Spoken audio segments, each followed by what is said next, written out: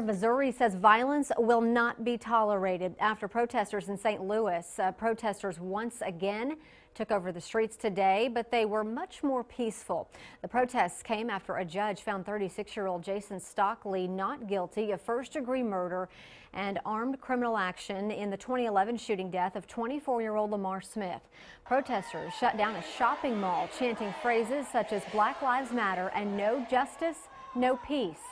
Yesterday, they blocked highways, damaged public and private property, broke windows, and threw rocks at the mayor's house and police officers.